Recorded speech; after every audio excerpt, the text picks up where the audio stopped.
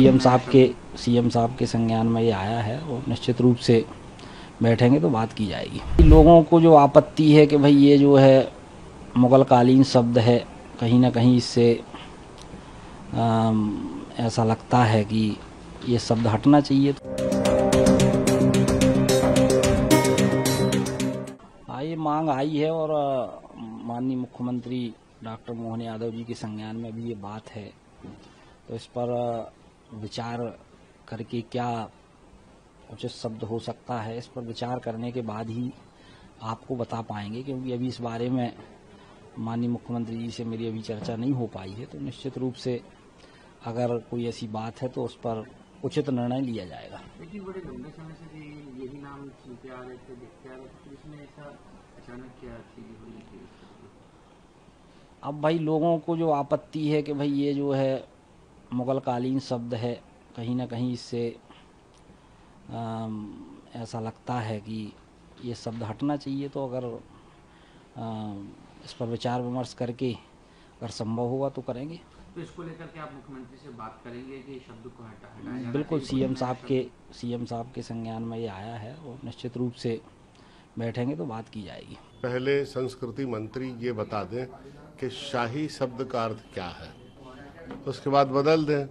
फिर एक काम करें, जो मिठाई है, शाही टुकड़ा, उसका नाम बदल दें। है, पनीर का नाम बदल दें, शाही पनीर, उसका नाम बदल दें।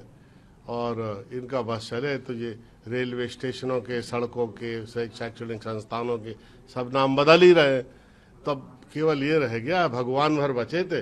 तो अब उसकी शुरुआत कर दी इनने, भगवान के नाम बदलने लगे। धीरे धीरे ये शाही स्नान का नाम बदल देंगे।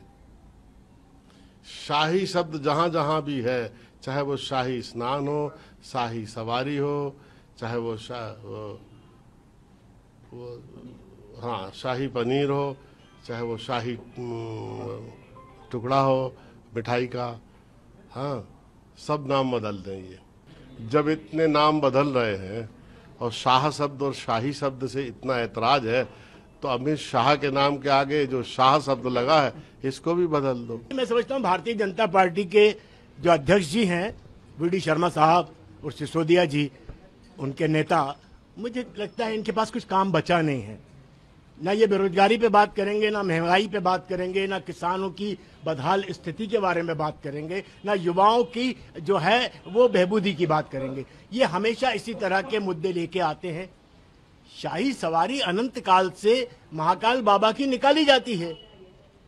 उसमें कौन सा ऐसा गलत शब्द है? और अगर ऐसा है तो शाही स्नान जब कुंभ के समय किया जाता है तो उसका भी ऑब्जेक्शन लेना चाहिए। तो ये देश जो है, हिंदू धर्म जो है, सनातन धर्म जो है, ये सनातन जो हमारे कानून और कायदे हैं, उनके हिसाब से चलेगा। वी डी शर्मा और सिसोदिया के ऑब्जेक्शन लेने से नहीं चलेगा।